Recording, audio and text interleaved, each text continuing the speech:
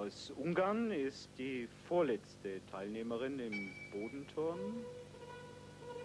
Sie war gestern Zehnte, Teilnehmerin der Weltmeisterschaft, 16 Jahre aus Budapest.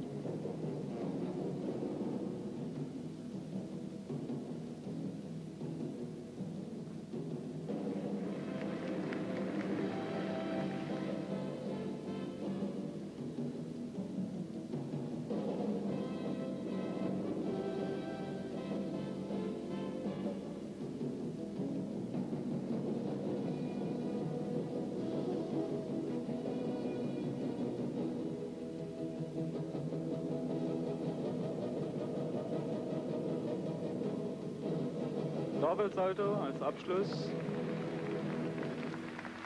Andrea Ladany aus Ungarn.